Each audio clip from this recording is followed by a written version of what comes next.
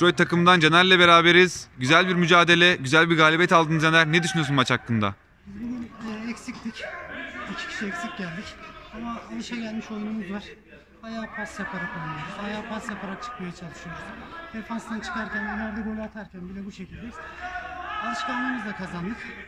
Bir yakaladık. Bu şekilde gideceğini umuyorum. Güzel maçtı. Centilmence maçtı. Herkesin ayağına sağlık. Teşekkür ederim, başarılar.